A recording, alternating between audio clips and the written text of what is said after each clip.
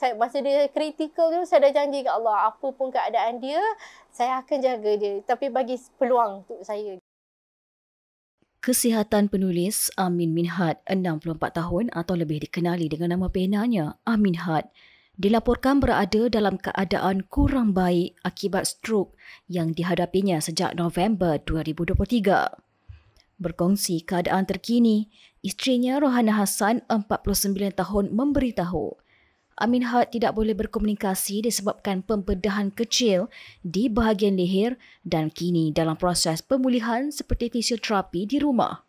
Dia sakit uh, mulai bulan uh, akhir pengakhir November 2023.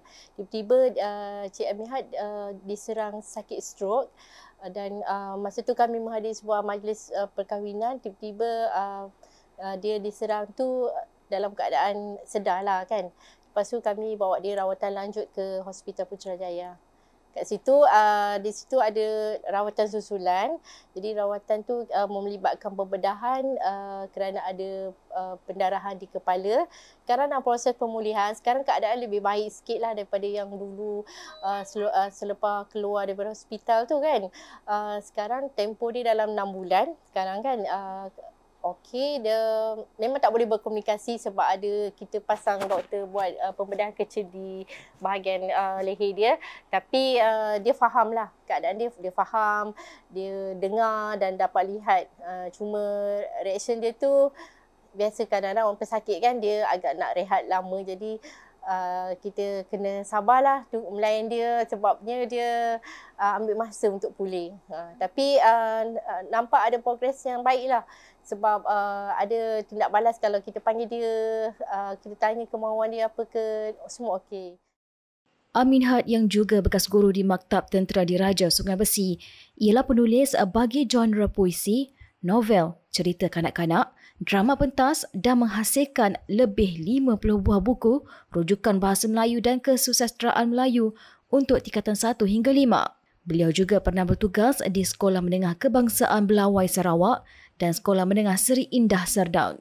Ahli Persatuan Kebajikan Penulis Muda Selangor Kemudi ini pernah menerima anugerah penulisan kreatif bagi karyanya Yuri Unggai dan Ika Suziana pada tahun 1984 dan karya-karya beliau kerap tersiar di dada akhbar. Mudah-mudahan kita tak nak share kan benda ni ingatkan nak dengan family saja kan. Tapi ada adalah kata-kata orang lain kan ah, nasihat ustaz kata lah share sebab dia ramai kawan, ramai kenalan anak-anak murid dia. Jadi kami ambil keputusan untuk share di WhatsApp untuk um, uh, mendoakan dia. Bantuan banyak juga yang masuk uh, antaranya anak-anak murid dia yang dari Maktab Tentera Sungai Besi yang sentiasa berdoa dan tak henti memberi bantuan pada dia uh, dalam bentuk sumbangan dan juga uh, menziarahi dia kan. Uh, lepas tu uh, bantuan yang terkini uh, dari Pusat Zakat Negeri Selangor dalam bentuk uh, uh, pakaian apa uh, lampin pakai buang dan juga susu. Bagi membantu urusan harian Amin Had sekeluarga, sumber kini mewakili Padang Korporat Menteri Besar Selangor Pemerbadanan MBI menyampaikan sumbangan berupa wang tunai dan juga barang keperluan asas di rumahnya di Cyberjaya baru-baru ini. Kami berharap dia akan sihat seperti dululah. Walaupun mungkin uh, agak ambil masa kan? Uh, tapi sekurangnya dia dapat bersama kita. Itu janji saya dengan Allah. Saya akan jaga dia.